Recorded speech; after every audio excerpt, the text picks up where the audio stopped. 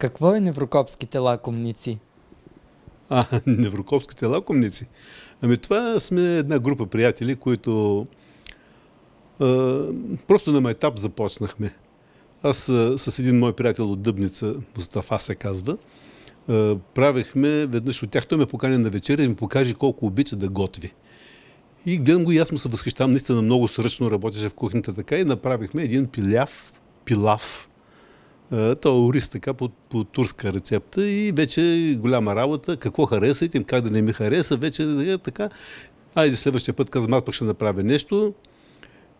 Той го хареса. Това не помня вече, което направих. И оттам, като тръгнахме, започнаха другите наши общи приятели. Абе, вие се събирате, вие правите нещо. Ми хубаво и ваше поканим. И аз така започна като направя нещо, викам приятелите, събираме се у нас и започнахме да ядосаме разни други подобни на нас пак лакомници. Има много хора, които са извън България, които са някои от тях са в Турция, по чужбина. И започнахме да, да им давам на тях е, снимки в Фейсбука, да им пращам, да ги ядосам какво сме направили. Те, като, като ги знам, че те обичат да лапат като нас – и те започнаха да пращат техните. И е така, като на метап, после изведнъж казваме, защо не си направим една групичка и я кръстихме Неврокопски лакомници. Най-много си падаме по капамата и после печени птици. Сигурно много сла...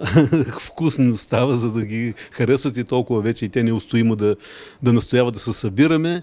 И така продължаваме тази традиция. Групата ни е отворена кой като пожелая, неврокопски лакомници се казва и на латиница да пишете и на български е, се излиза. Как усъвършенствате, как усъвременявате знанията си? Моята цел беше да издирвам старинни рецепти и да ги адаптирам към съвременните условия. Защото, примерно, една баница от бял дроб, която се прави върху точени кори на ръка. Хайде как да ще източиш корите, но трябва да се изпече върху печка на дърва, която е с голям плод. Такива нямаме, на котлоните няма как. И затова всичките тези, които са, са определени от стария бит са наложени и, и старите условия, но са пък достатъчно ярки, вкусни и типични, е, тях обичам да ги адаптирам към условията на съвременния човек имам една рецепта а, месо в тиква. Тя е от старото село Калапот. Тя е, той сега е в територията на Гърция.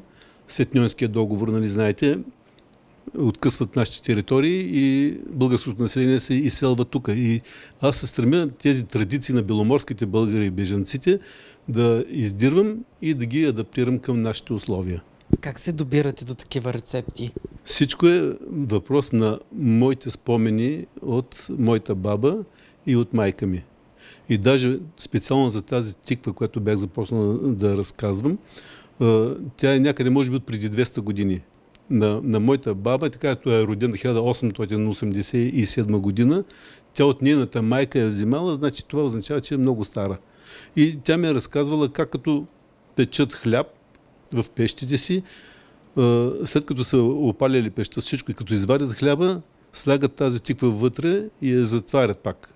Използват тази топлина и на другата сутрин изваждат някакво разкушотилище, както обичам аз да се е, изразявам. И така, по нейните спомени аз успях да възстановя тази рецепта по нейните разкази и мои спомени.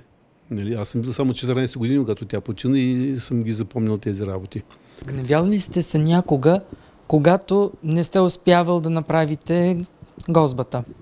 О, разбира се, това си е провал. А, нали, това не ми е професия на мене, кулинарията. Това ми е, е хоби и много си го обичам. Никога няма да стана професионалист, разбира се. И естествено, за мен аз го считам за голям провал, ако особено пък съм поканил гости и, и дойдат и нещо не както аз се го представям. Готвя с, а, сега малко банално става, с любов, за да има успех.